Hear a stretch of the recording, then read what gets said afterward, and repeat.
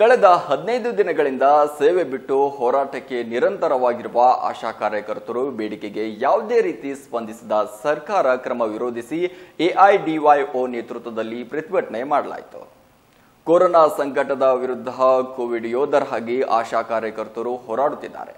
ಇಂತಹ ಸಮಯದಲ್ಲಿ ತಮ್ಮ ಜೀವ ನಡೆಸಲು ಹನ್ನೆರಡು ಸಾವಿರ ಮಾಸಿಕ ವೇತನ ಹಾಗೂ ಗೌರವಧನ ಅಲ್ಲದೆ ಅವಶ್ಯಕತೆ ಇರುವ ಕಿಟ್ಗಳನ್ನು ನೀಡಬೇಕೆಂದು ಒತ್ತಾಯಿಸಿದರು.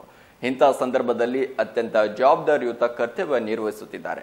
ಕೂಡಲೇ ಅವರ ಬೇಡಿಕೆಗಳನ್ನು ಸರ್ಕಾರ ಈಡೇರಿಸಬೇಕು ಎಂದು ಆಗ್ರಹಿಸಿ ಎಐಡಿವೈಒ ಪದಾಧಿಕಾರಿಗಳ ನೇತೃತ್ವದಲ್ಲಿ ಜಿಲ್ಲಾಧಿಕಾರಿಗಳಿಗೆ ಮನವಿ ಸಲ್ಲಿಸಿದರು. ಮಾಸಿಕ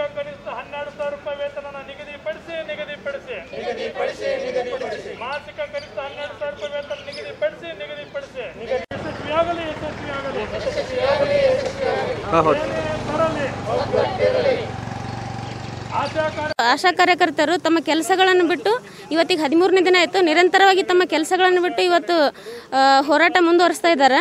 ಇವರಿಗೆ ಮಾಸಿಕ ವೇತನ ಹನ್ನೆರಡು ಸಾವಿರ ರೂಪಾಯಿ ನಿಗದಿ ಮಾಡಬೇಕು. ಜೊತೆಗೆ ಸುರಕ್ಷಾ ಕಿಟ್ಗಳನ್ನು ಸರ್ಕಾರ ಆಶಾ ವರ್ಕರ್ಸಿಗೆ ಒದಗಿಸ್ಬೇಕಂತ ಹೇಳಿ so all India democratic student sorry all India democratic youth ಆರ್ಗನೈಸೇಷನ್ದಿಂದ ಇವತ್ತು ಡಿ ಸಿ ಅವರಿಗೆ ಮನವಿ ಪತ್ರ ಸಲ್ಲಿಸ್ತಾ ಇದ್ದೀವಿ sir uh all India democratic youth organisation ಇವತ್ತು ಕರ್ನಾಟಕ ರಾಜ್ಯಾದ್ಯಂತ ಕಳೆದ ಹದಿನಾಲ್ಕು ದಿನಗಳಿಂದ ಏನು ಆಶಾ ಕಾರ್ಯಕರ್ತರು ನಿರಂತರ ಹೋರಾಟ ಮಾಡ್ತಾ ಇದ್ದಾರೆ.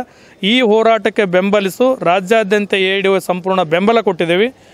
ಭಾಳ ಪ್ರಮುಖವಾದಂಥ ಬೇಡಿಕೆಗಳು. ಆಶಾ ಕಾರ್ಯಕರ್ತರಿಗೆ ಕನಿಷ್ಠ ಮಾಸಿಕ ಹನ್ನೆರಡು ಸಾವಿರ ರೂಪಾಯಿ ಗೌರವಧನ ನೀಡಬೇಕು. ಆಶಾ ಕಾರ್ಯಕರ್ತರನ್ನ ಕಾಯಂಗೊಳಿಸಬೇಕು.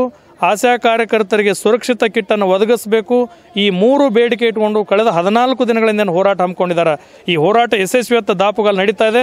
ಆದರೆ ನಮ್ಮ ಕರ್ನಾಟಕ ರಾಜ್ಯ ಸರ್ಕಾರ ಸೌಜನ್ಯಕ್ಕಾದರೂ ಕೂಡ ಆರೋಗ್ಯ ಸಚಿವರಾಗಲಿ, ಮುಖ್ಯಮಂತ್ರಿಗಳಾಗಲಿ, ರಾಜ್ಯದ ಕಾರ್ಯದರ್ಶಿಗಳಾಗಲಿ ಯಾರೊಬ್ಬರೂ ಕೂಡ ಕರೆದು ಮಾತಾಡಿಸ್ತಾ ಇಲ್ಲ. ಇದು ಅತ್ಯಂತ ನಾಚಿಕೆಗೆಟ್ಟ ಸರ್ಕಾರ.